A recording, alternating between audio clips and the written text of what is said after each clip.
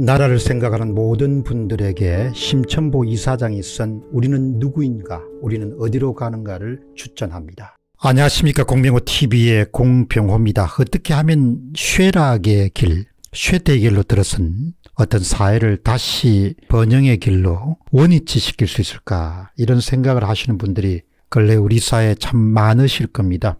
사회가 점점 내려가는 그런 모습이 너무나 확연하기 때문에 어쩜 이렇게 짧은 시간 동안 사회가 이렇게 하락 국면으로 심하게 접어들 수 있을까 이런 생각하시는 분들이 굉장히 많으실 겁니다. 맨슈 올슨 교수의 Power and Prosperity 지배 권력과 경제 번영이라는 그런 책 속에서 저자가 평생 동안 그런 연구한 결과물들을 한번 압축해서 정리하도록 그렇게 하겠습니다.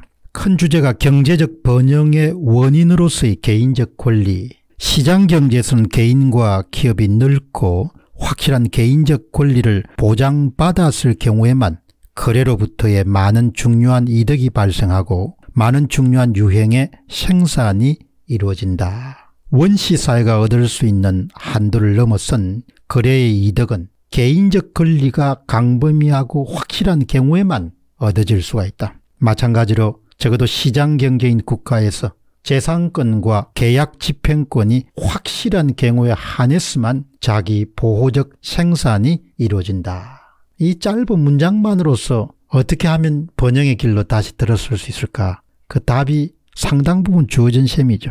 거래로부터 많은 이득이 발생할 수 있는 조건은 재산권과 계약 집행권이 확실한 경우, 개인적 권리가 확실하게 보장된 경우에만 가능하다.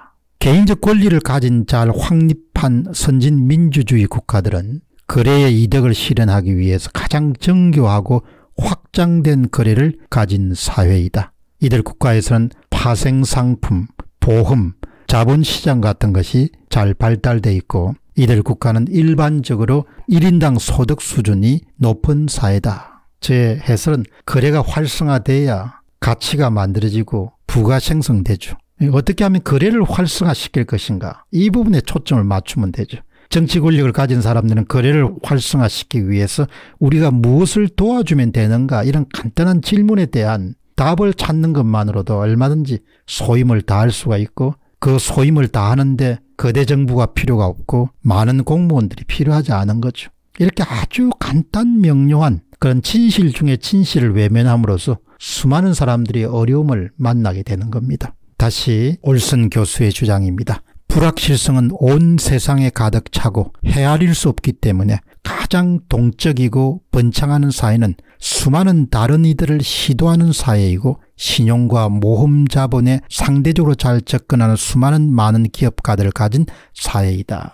공무원이 많은 사회가 잘 사는 사회가 아니란 거 아닙니까? 수많은 다른 일들을 시도하는 사회, 수많은 다른 시도를 할 수 있도록 용인하는 사회, 수많은 다른 시도를 할 수 있도록 촉진하는 사회가 그것이 부의 원천이라는 것을 올슨 교수가 분명히 지적하죠. 다시 올슨 교수의 주장입니다. 사회가 미래를 예측할 수 있는 방법은 없다. 그러나 만약 사회가 다양한 기업가들을 보유하고 다양한 종류의 상호 이득이 되는 거래를 할 수 있다면 그 사회는 매우 다양한 선택을 그것도 한 개인이나 한 기관이 생각할 수 있는 것보다 더 많은 선택을 할 수 있다. 저의 해설은 간단합니다. 거래를 활성화시켜라. 거래를 활성화시키기 위해서 뭘 도와줄 것인가를 고민하라.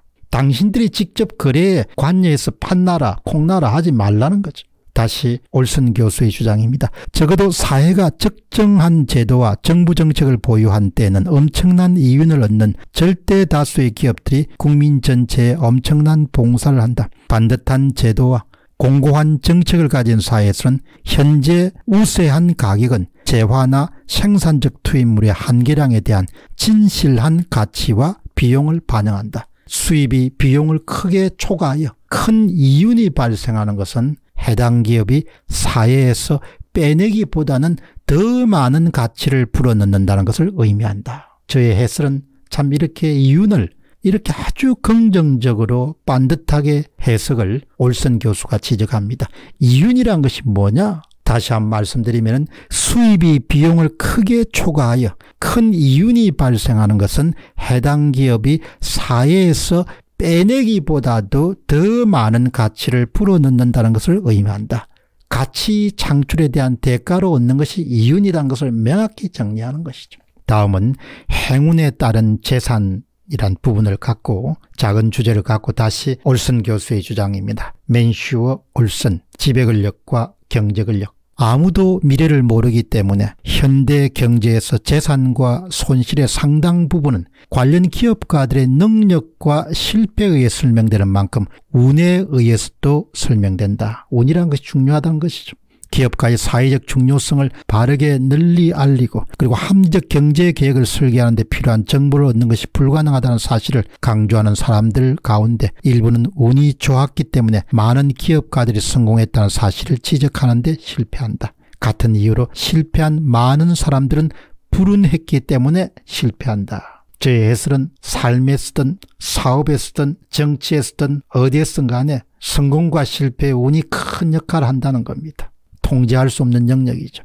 다시 맨쇼 올슨 교수의 주장입니다. 부분적으로 운이 큰 역할을 하기 때문에 높은 이윤을 얻는 것을 부도덕하다고 여기는 경향이 있으며 예외적으로 큰 손실을 입는 경우 사회적 문제를 보고 정부가 대책을 마련해야 한다고 한다. 이러한 사고방식, 이런 사고의 결과로 돈을 잃는 기업, 돈을 잃는 산업, 그리고 지역에 각종 보조금이 지급된다. 체제 전환 경제에서는 이러한 보조금이 앞에서 논의된 바가 있는 연성 예산 제약의 일부를 형성한다.